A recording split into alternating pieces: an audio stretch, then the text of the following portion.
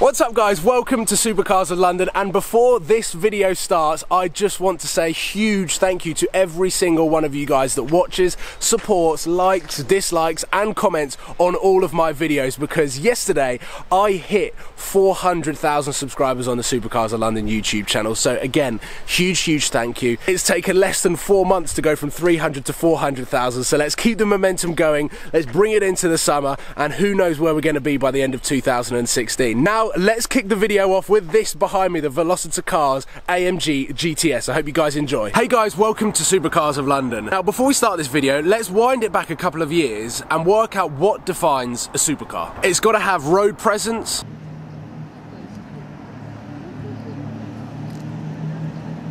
It's got to have two seats. It's usually Italian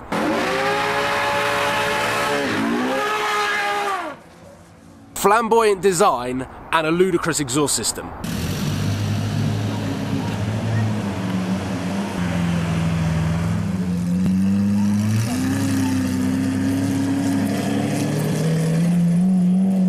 Fast forward to the present day, I am back where I filmed Why Am I Selling the Lamborghini? I've done the Lamborghini dream and now it is time to test a new car that could potentially replace the Lamborghini.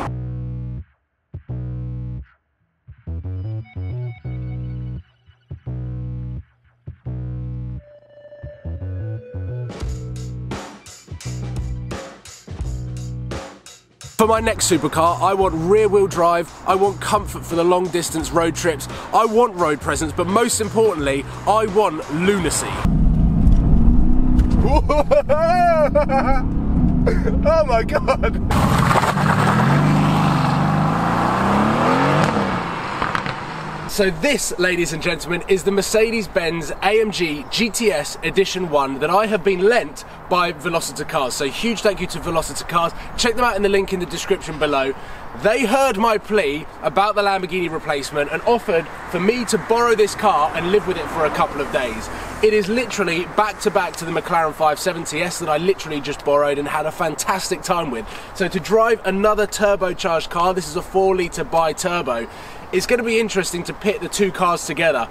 Having driven this car already for about 20 miles since picking it up from the Driven Leasing headquarters, this is a completely different beast. It feels like a muscle car. The long front end is seriously intimidating. So let's jump in and go over some of the things that I want in my next supercar and see if this is the perfect Lamborghini replacement. Okay, so stock this car sounds absolutely incredible. Mercedes AMG cars are known for their incredible soundtrack and usually the 6.2 naturally aspirated V8 that used to be in the SLS AMG and C63s sounds amazing. I was worried that this car was going to have the same problem as the McLarens do with the turbocharged exhaust system, but thankfully, as stock systems go, this is pretty incredible.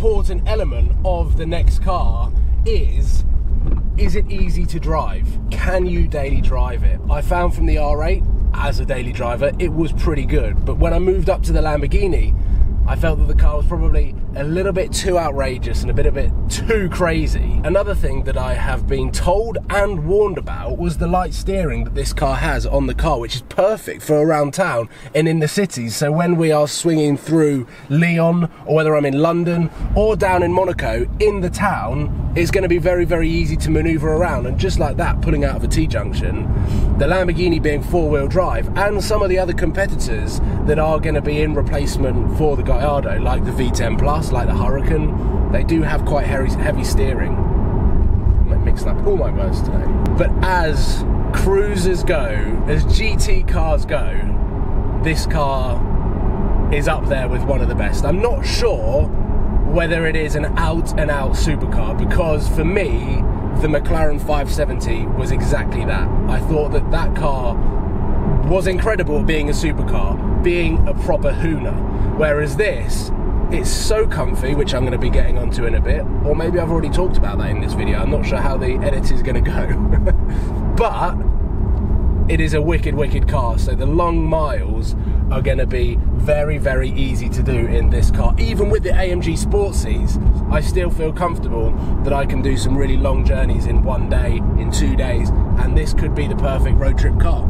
Now, if we're talking about practicality and luxury elements of a brand new super sports car, sports car, GT car, whatever you want to call this or whatever you want to call potentially my next car, is that on the Edition 1, you get a carbon fibre roof, which is amazing for the Edition 1. However, if I was to just get an AMG GTS slightly cheaper, you can have the option of the premium package, which comes with incredible surround sound system, but most importantly, a panoramic roof, which for long distance cruises, if you just want to gaze up into the stars, or more actually, your passenger gaze up into the stars, or even the sun, just allowing more light into the car is perfect because I think we're having a little problem with all of these trees about how dark the interior is for this video.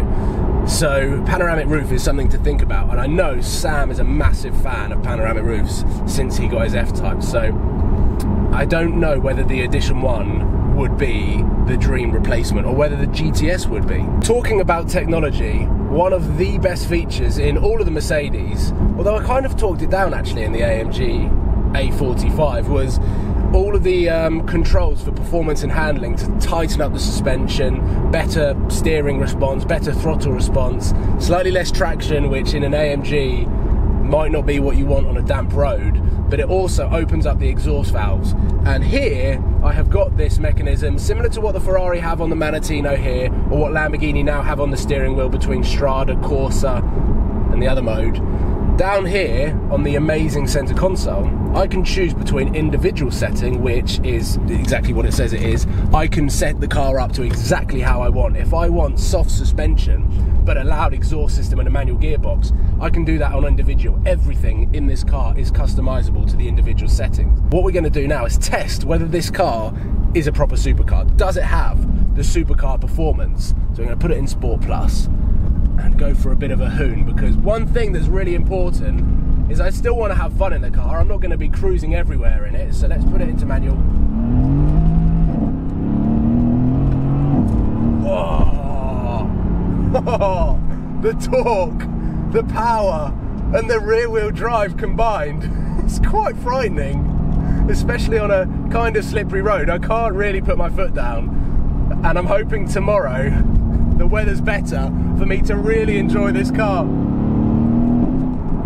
Oh, it just takes off. And you get awesome exhaust crackles. The steering becomes a lot more, just becomes better. Oh my God. And all of a sudden, the intimidating front nose on this car just slowly reduces inside and you become a lot more confident behind the wheel of this car. Cruising around town, you do feel like you're steering a bit of a boat with the long front nose. You really don't know when it ends. Thank God it's got parking sensors, but as soon as you start putting your foot down and have a bit of fun, this turns into a nimble little sports car or supercar. With the performance this car has, I'd say that it's a supercar performance wow, it is obviously not as quick as the 570S because this has got a lot more purpose to it around being a GT car, around being a daily car. The 570S, I think McLaren have just built that as an out and out mid mid engine supercar.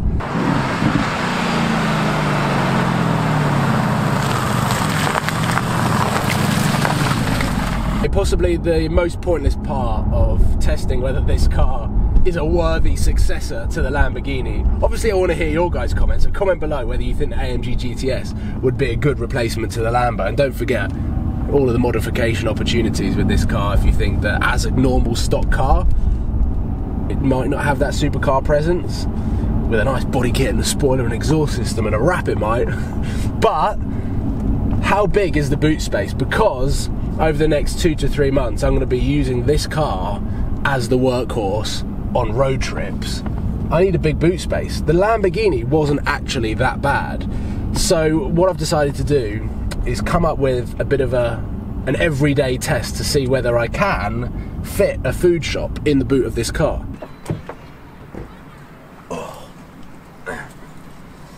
Right, let's go and get some food. Oh no, I need my wallet.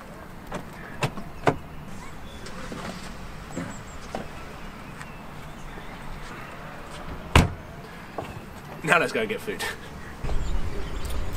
Okay, so food shop done. I've got some juice and a cream egg. Let's see whether it can fit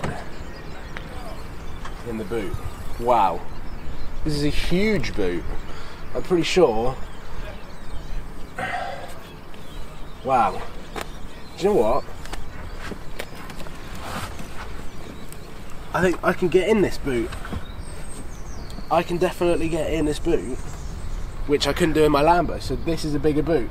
So there is my first impressions of the Velocitacars AMG GTS Edition 1 and I have to say I'm sort of falling in love with it. I wasn't so sure that I was going to, having only driven one AMG GTS at Southern Sky before, but having done some of the tests in this video, this is definitely, definitely a capable car. I cannot wait to pit it against the, the other cars that I haven't tested yet, R8 V10 Plus, Lamborghini Huracan, potentially the 458, and also an Aston Martin Vanquish. So please leave your comments in the comment box below.